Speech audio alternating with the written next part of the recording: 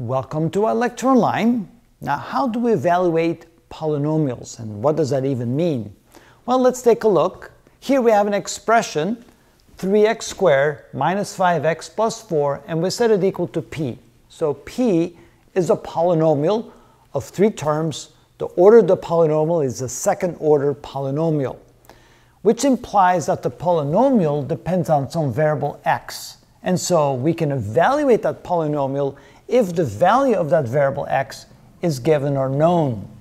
So we can then write the polynomial as follows. The polynomial depends on the variable x, and it is equal to 3x squared minus 5x plus 4. So this is a polynomial, an algebraic expression of three terms.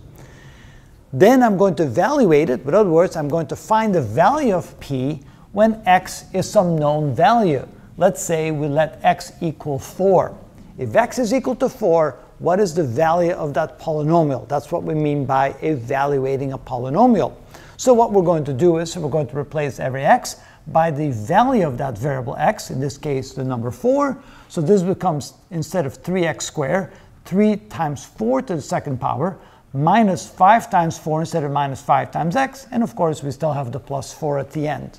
When we work that out, 4 squared is 16, 3 times 16 is 48, 5 times 4 is 20. So when we add all these terms together, 48 minus 20 is 28, plus 4 is 32, which means that the polynomial is evaluated when the number 4, when x is known. So when x equals 4, the polynomial is equal to 30, 32.